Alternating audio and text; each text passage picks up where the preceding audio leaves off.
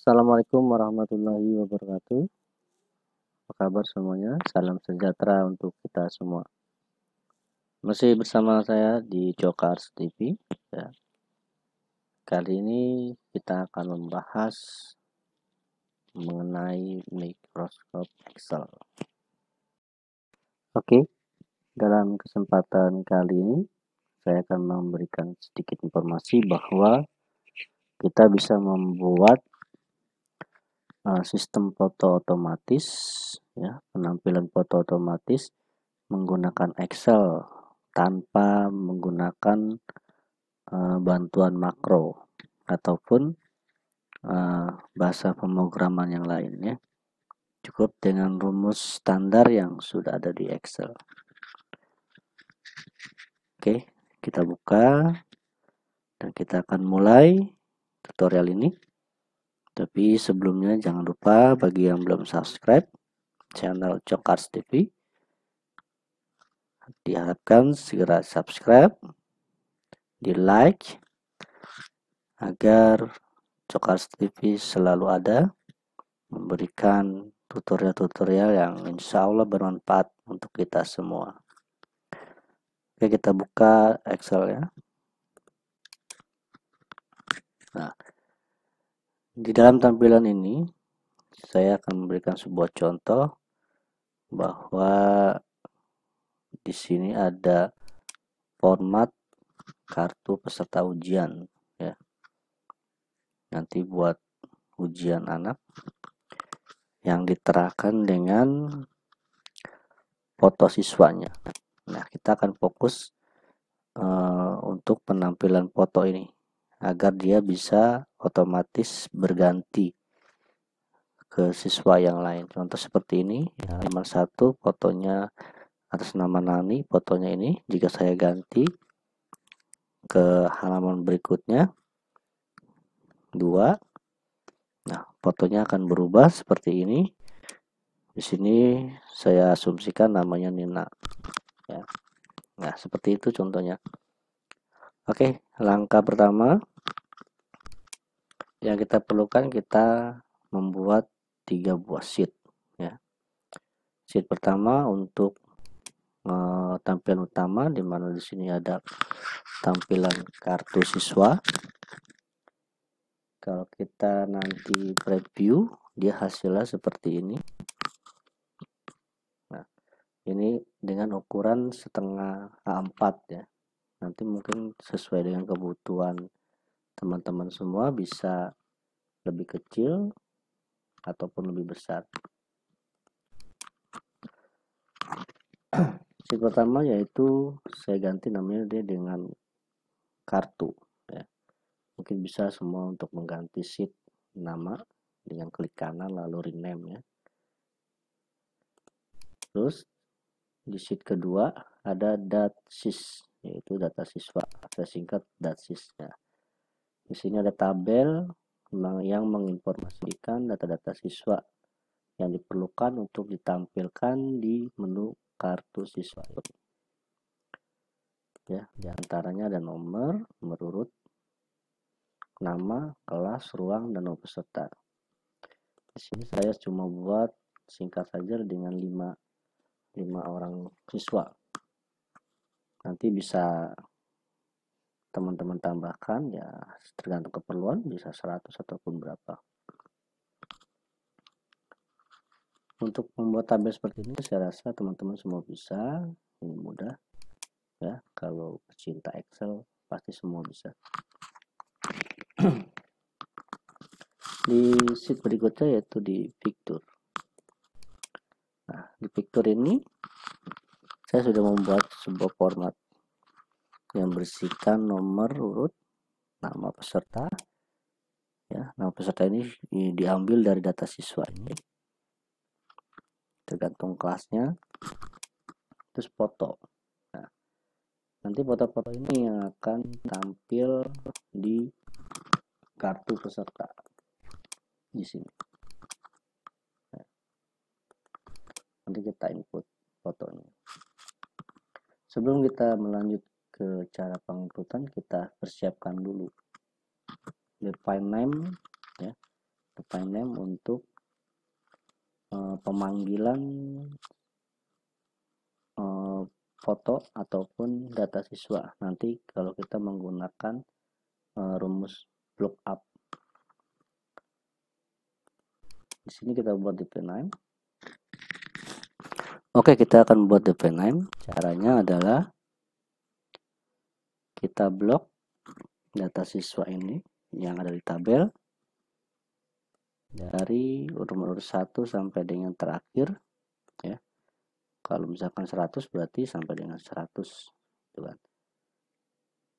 Kita blok kita pilih formula lalu define name nah nanti di sini keluar menu. Kita kasih nama kalau saya memberikan namanya sesuai dengan nama uh, sheet yang sudah saya rubah tadi yaitu datsis datsis ya. kalau untuk refer ini ini otomatis karena kita sudah membloknya. Area yang kita blok ya yaitu A4 berarti kolom A di baris keempat sampai dengan kolom K di baris 8 K8 ya. seperti ini. Kalau misalkan 100 berarti sampai dengan K 100 gitu ya. Nanti kalian klik OK. Saya sudah buat sebelumnya jadi saya tidak perlu OK. Ini hanya contoh caranya ya. Oke OK. Nah nanti bisa dilihat di sini di name manager. Nah ini saya sudah buat persis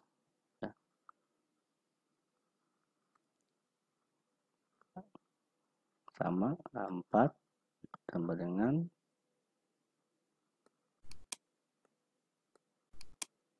Kalau di sini saya lewati ya sampai L. Walau kalau mau K juga nggak apa-apa di sini. Ganti K. K8 yes. Nah, setelah itu kita buat juga name di sheet picture. Oke teman-teman mau buat uh, untuk define name dari picture ini ya. Karena saya sebelum sudah buat jadi saya contohkan saja yaitu di formula define name ya. Uh, nanti di sini namanya sesuaikan dengan nama sheet saja biar gampang yaitu picture ya. nah, di sininya kita semprot aja langsung. Tadi kan kita lupa memblok ah. Ini aja kita ambil. Kita ambil dari sini aja. Kita akan blok yaitu area picture-nya saja.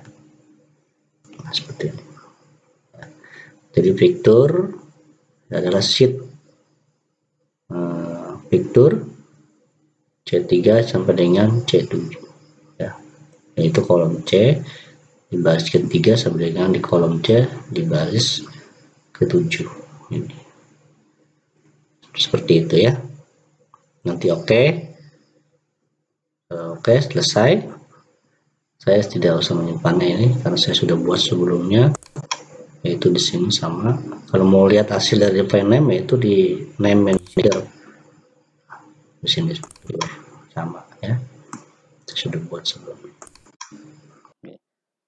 Setelah itu di menu picture ini kita akan uh, masukkan foto. Saya sudah masukkan foto tapi kalau teman-teman mau masukkan foto caranya tinggal insert pilih picture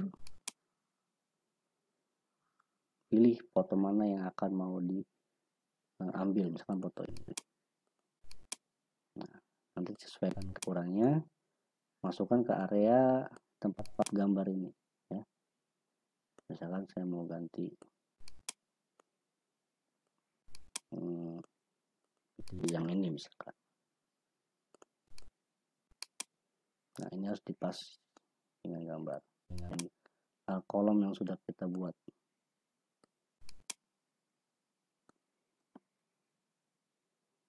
Jangan sampai melewati dari garis sheet maaf garis sel ya.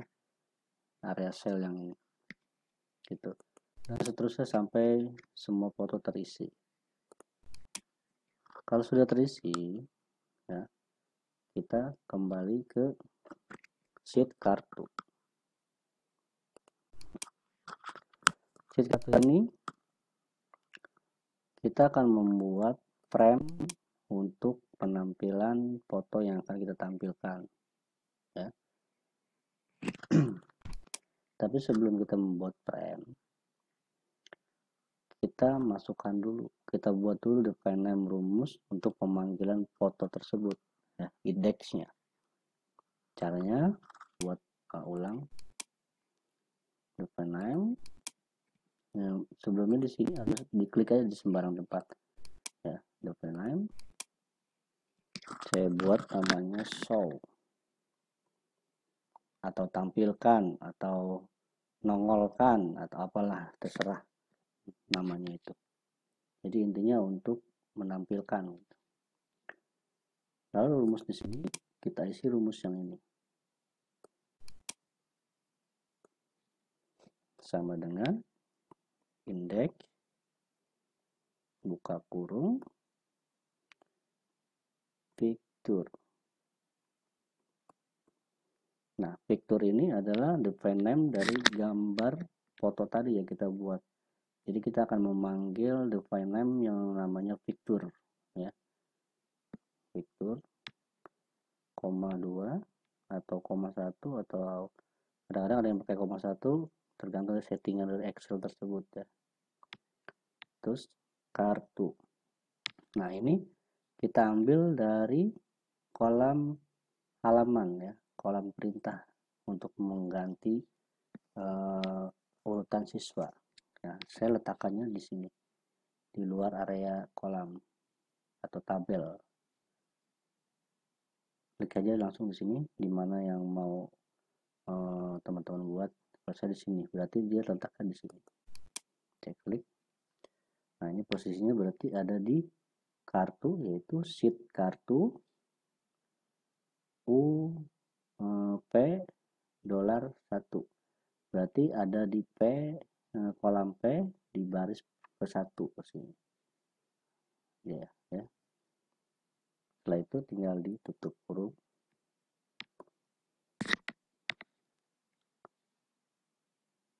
ingat ini adalah show ya namanya show oke nah. Sekarang kita buat frame ini saya hapus dulu. Untuk membuat frame untuk tampilan fotonya siswa tersebut itu menggunakan developer ya. developer kalau teman-teman belum nongol uh, menu developer ini bisa ditampilkan di sini. Menu lalu Excel option. Nah di populer ini ya kalau di 2007 uh, checklist yang tanda show developer tab in ribbon kalian checklist nanti akan nongol di tab menunya developer ini ya. Oke. Nah nanti ini akan keluar kalau yang belum ada. Nah itu kita buat frame yaitu dari insert pilih yang fitur ini ya. Image active control. Kita drag di mana akan dibuat misalkan saya mau buat di sini. Frame-nya nah. nah seperti ini. Bedanya dengan developer dengan membuat frame dengan menggunakan insert uh, clip art atau shape itu bedanya di kalau jika menggunakan developer dia akan tampil seperti ini. Jadi ada rumus ya, sama dengan embed form image bla bla bla. Gitu ya beda dengan kalau kamu uh, Anda membuat menggunakan shape misalkan shape seperti ini. Kotak ini nah di sini itu tidak keluar uh, perintah rumus perintahnya. Itu bedanya ya. Jadi harus menggunakan yang uh, insert picture yang ada di developer setelah itu setelah ini sudah kita buat frame ya sekarang kita panggil uh, indeks rumus indeks yang kita buat tadi. Kita uh, memberi namanya tadi dengan show ya. Jadi tinggal diganti di sini ya. Dihapus sama dengan show. Enter. Nah nanti akan tampil gambar yang kita panggil. Sesuai dengan nomor urut uh, dari urutan siswa yang kita buat. Di sini nomor 2 ya. Berarti foto ini yang akan keluar atas nama Nina. Jika dia nomor satu berarti foto ini yang akan keluar. Untuk ukuran tinggal disesuaikan di mana mau naruhnya. Ya bisa dimengerti? Oke. Sekarang kita fokus ke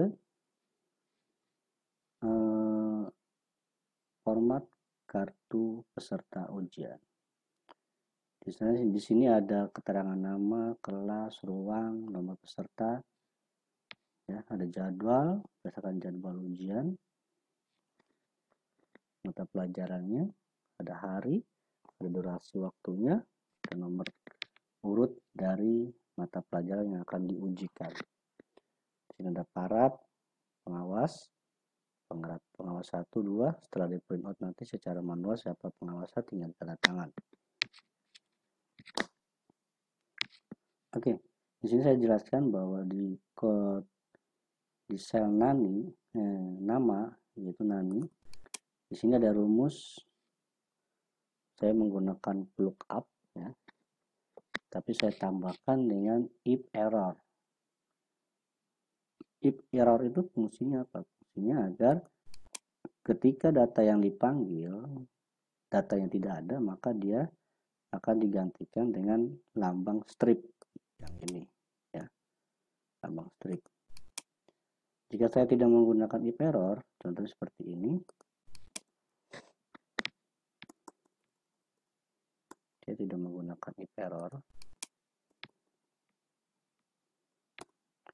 Ketika saya panggil, di sini kan ada 5 siswa. Datanya 1, 2, 3, 4, 5. Ketika saya panggil nomor 6, pasti akan kosong datanya, tidak ada untuk menghindari uh, error seperti ini misalkan saya panggil nomor 6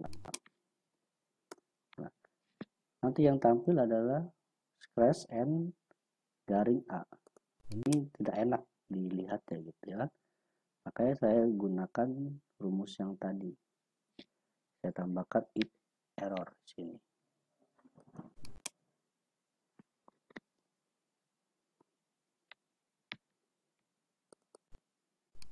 Seperti ini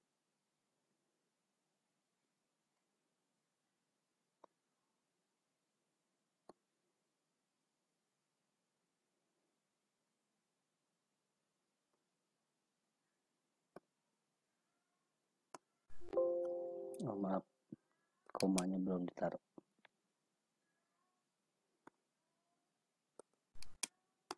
Nah, jadi ketika nomor 6 yang dipanggil dia akan tanda strip.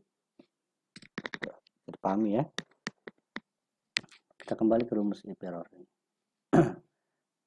di sini saya menggunakan lookup karena saya pengambilan data seja, secara vertikal ya dari tempat dari sheet lain dari dari sheet data sys maupun dari fitur maka saya menggunakan lookup bukan lookup kalau haloka berarti horizontal ya.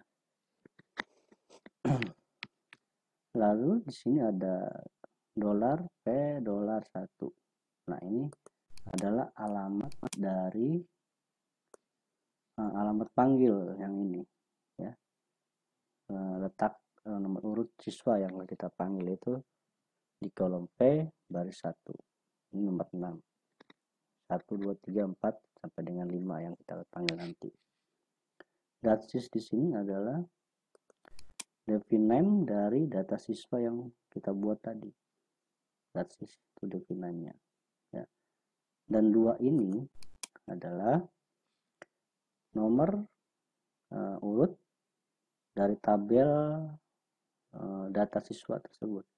Dua di sini misalkan ini kan dua berarti kita mengambil nama ya, dari kolom data siswa. Di sini nama itu ada di kolom kedua. Ini satu dua tiga empat lima dan seterusnya. Dan nama ini ada di kolom kedua. Tuh paham ya? Maka di sini ada dua. Kalau nol itu berarti kalau datanya kosong dia tidak memanggil gitu ya.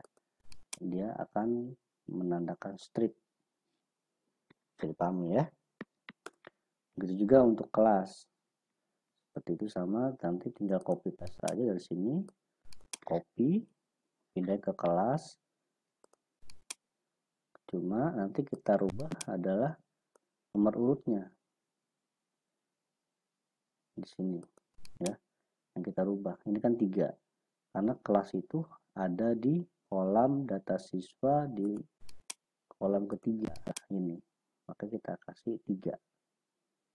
Ya kalau misalkan ruang di empat tinggal diganti empat gitu.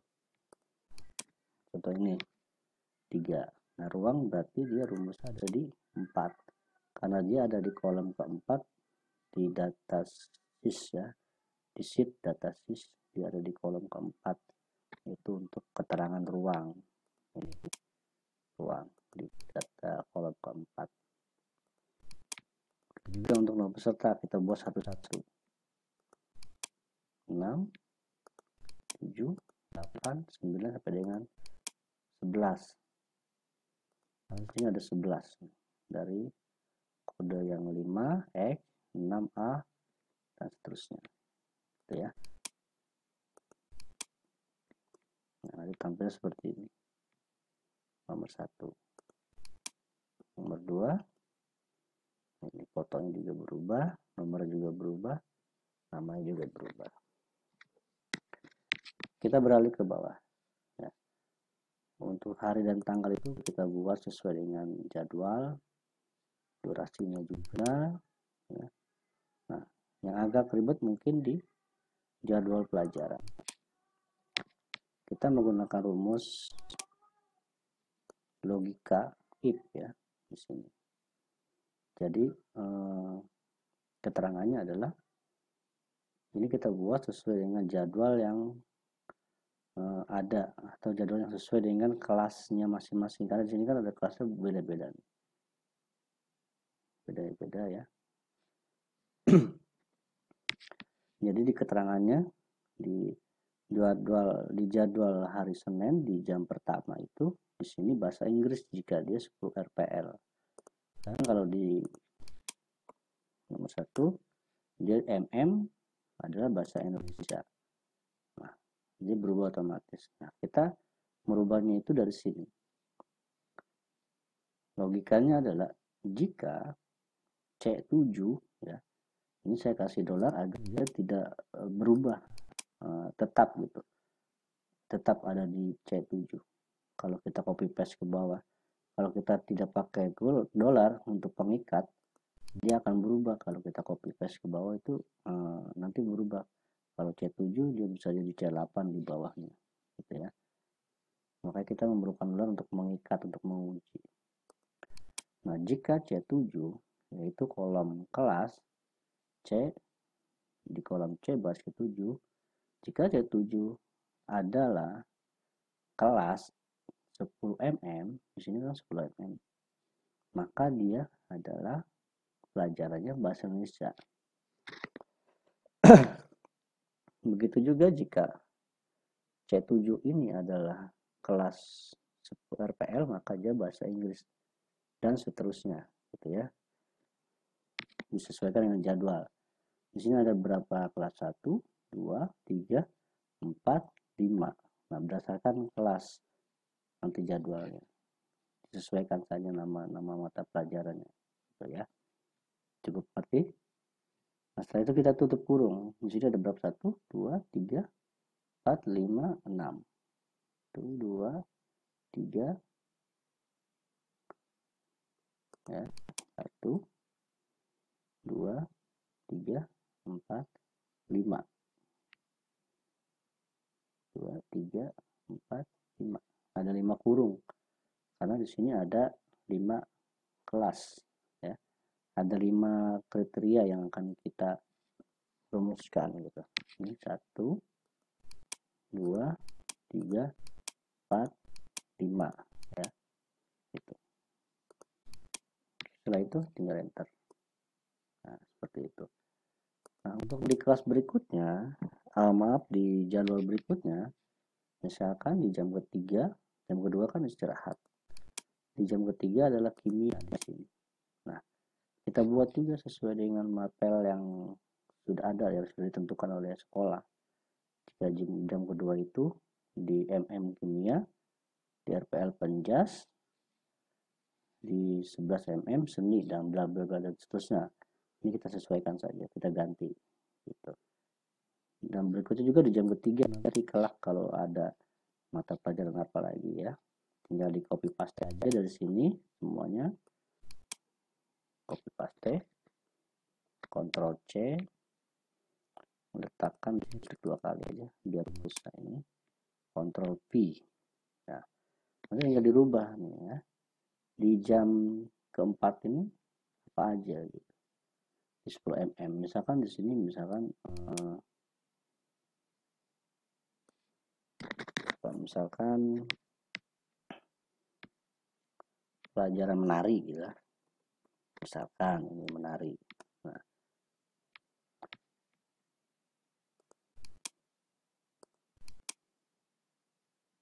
nah berarti di jam keempat adalah menari untuk kelas MM Nah, saya kan belum berubah kelas yang lain nih, yang masih penjas, seni, matematika, kewirausahaan.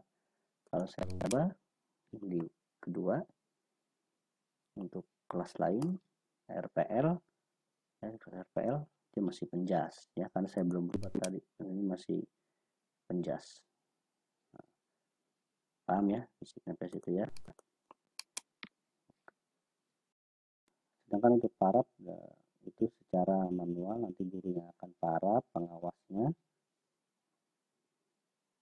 ya saya rasa cukup jelas.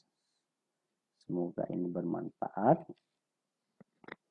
Jika memang ada pertanyaan nanti tinggal di komen di channel saya ini ya.